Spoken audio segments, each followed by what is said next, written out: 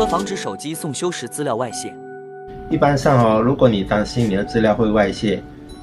就算你手机不开机的话，你也不需要给那个技术人员呃密码。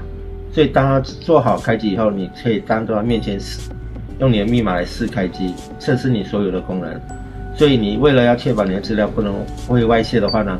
就不需要给技术人员那个密码就行了。手机一般上送修的最主要常见的问题都是摔、重摔或者进水，少部分是机件本身的元件损坏，这三种为主。然后接下来就是我们在维修里面价格最昂贵的其实是荧幕，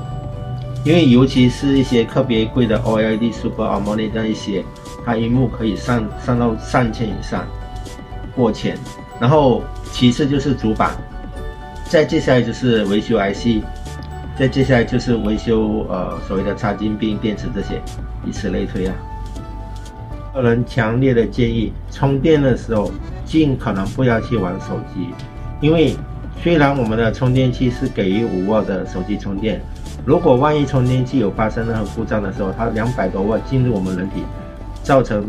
死亡。因为这个事情在国外跟马来西亚都已经发生不少这样的例子了。再加上充电玩手机对手机本身也不是很好，因为什么？因为你在操作手机的时候，它 CPU 在运转，会产生一定的温度。再加上你充电，它本身也是有一个温度，所以很容易造成虚汗，让那个新那个手机的功能没有这么呃很好使用，而且寿命也比较短。